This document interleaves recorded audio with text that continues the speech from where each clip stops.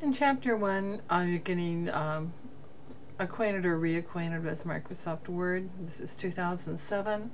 Um, just like to point out uh, some things that are different from earlier versions of Word.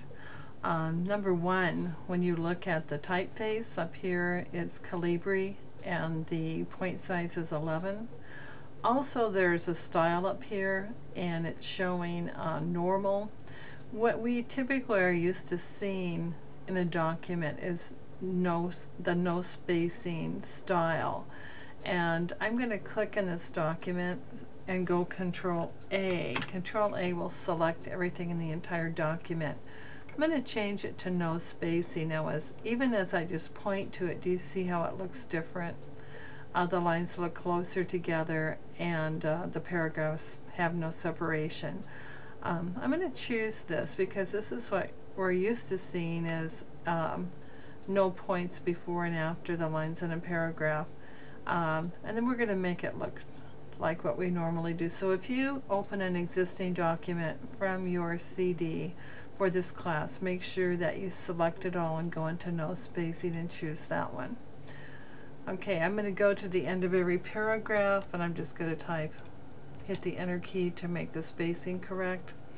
Now this is what you call a sans serif font. If I take the zoom up here a bit, notice that the letters don't have any little tails at the end of them. They're just uh, kind of little stick figures. This is more difficult to read um, because there aren't any little lines leading us from one letter to the next. I'm going to go Control A again, which will select the document. I'm going to go to Calibri up here I'm going to choose either Cambria or Times New Roman. Now I'm on Cambria right now. Can you see how, uh, where I was at before? Uh, if you look down to where cell is at, in Cambria it's got little feet on the L's. If I'm in Calibri, those little feet go away. So if you choose Cambria, that's fine, either that or Times New Roman and then also take it up to 12. So this is something I'd like you to do on all your documents basically is change them to Cambria or Times New Roman and make them 12 point unless it calls for specific other changes.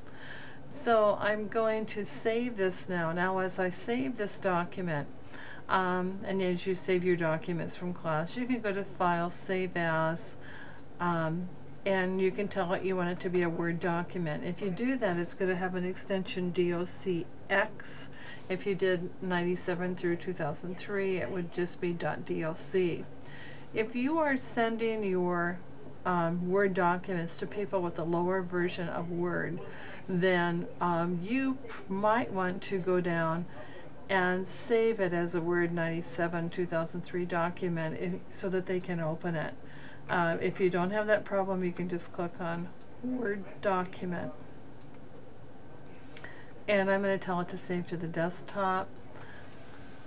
And I'm going to call it uh, chapter 1 uh, font and style. And click save.